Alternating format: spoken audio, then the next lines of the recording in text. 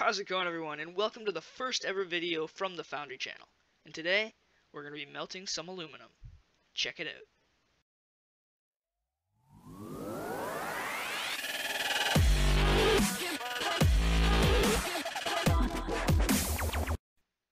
Alright guys, so the first thing we have to do is to start up the foundry itself. So I'm just going to take this homemade fire starter and put it right in the middle of the foundry.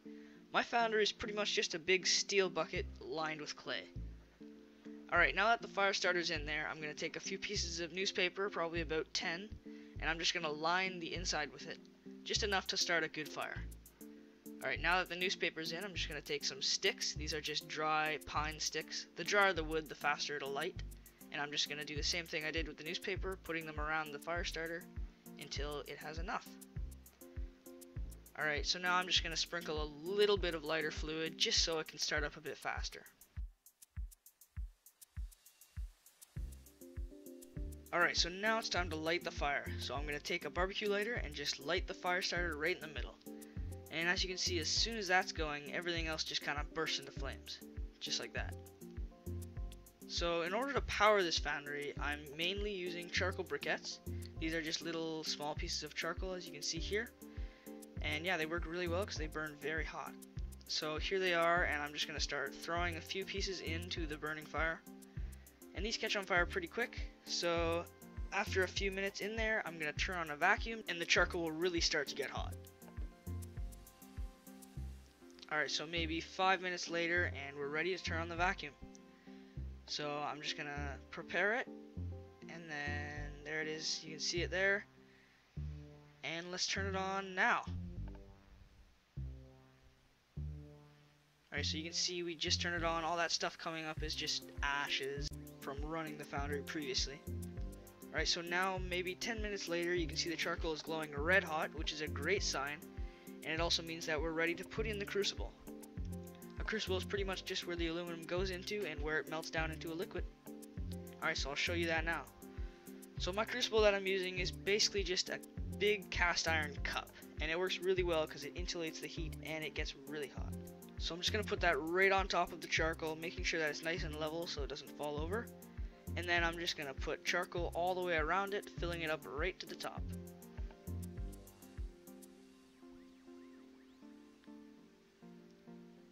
and once that's full to the top I'm gonna let it sit for another few minutes and then the charcoal should be hot enough to start melting so let's check on it then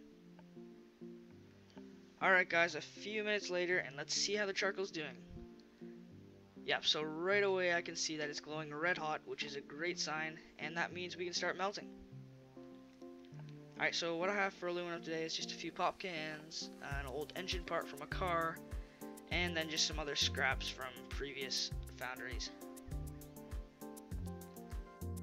So I'm going to start with adding a few pop cans. I prefer to start with pop cans just because they melt really fast and as soon as there's some aluminum in the pot everything else just melts a lot faster.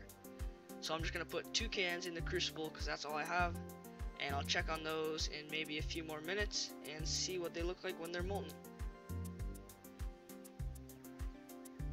Alright guys, let's see how the pop cans are doing. They've been in there for maybe one or two minutes. And I'll see what they look like.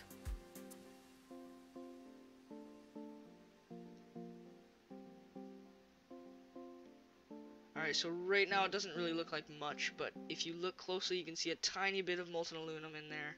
Pop cans aren't the best for melting just because they don't produce a lot of aluminum and most of it is just slag, which is material that doesn't melt.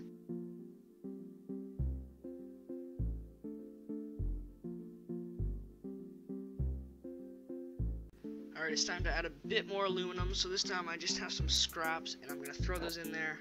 These are good just because I've already removed the slag for them, and they will melt a lot cleaner. So I'm going to check on them, they've been in there for another 5 minutes, and I'm going to see if they are melted. Okay, so as you can see, these melted a lot better than the pop cans, because there's a ton more aluminum in there this time, and it looks a lot cleaner. So I think I'm only going to need a few more pieces of aluminum and we'll be ready to pour the ingots. Alright guys, so I've added a few more pieces of aluminum. As you can see there, it's a lot more full. But there's also a lot more slag on the top, so I'm just going to have to take that off with this spike that I have. So I'm just gonna skim it off the top and do that a few times and we'll be ready to pour it.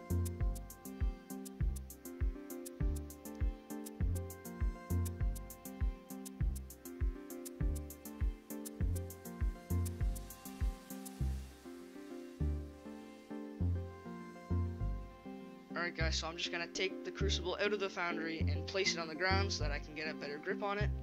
What I'm using to cast my ingots is just a old steel muffin pan. So I'm just gonna pour the aluminum into there. I think I'll be able to get three ingots out of this, maybe two and a half. And yeah, that looks good right there. So I'm gonna let these cool for a few minutes just so I, they're hard enough to take out of the pan, and I'll check them on then. Alright guys, it's been a few minutes, these things are still very hot, so I'm just gonna pop them out of the pan and see what they look like. Alright, there they are. So I'm gonna have to cool these down with a bit of water and then probably wait another few minutes just so they're cool enough to touch. Alright guys, you can see just how hot these are because of the steam coming off as soon as water touches them. Because the water is basically just vaporizing as soon as it hits it.